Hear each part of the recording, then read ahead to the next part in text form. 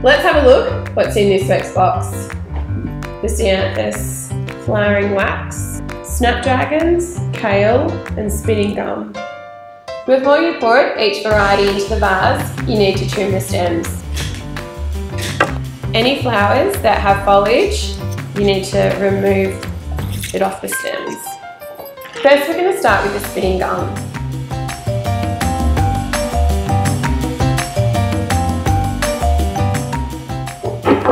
Next we've got the wax.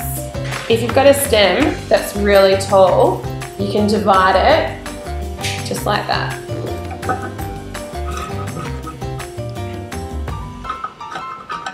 Next we're going to place the snapdragons.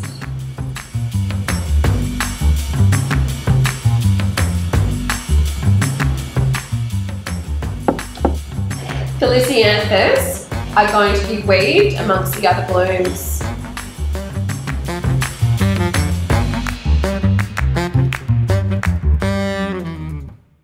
And the focal centrepiece of this week's box is the kale. And there you have it. That's this week's box.